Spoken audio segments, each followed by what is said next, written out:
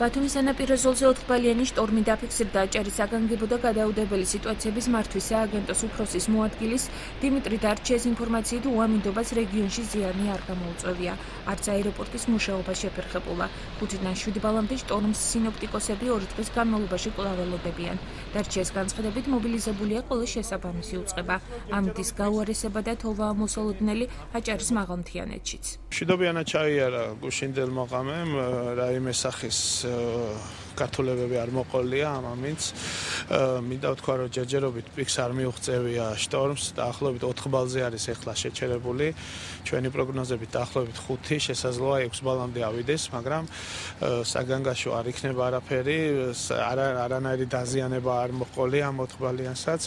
ჩვენი სამსახური მზადყოფნას გამოთქვამს, როგორც სანაპიროზე, ასევე ზემოთიან რაიონში, იქაც განუწყვეტლივ თოვს ახლა.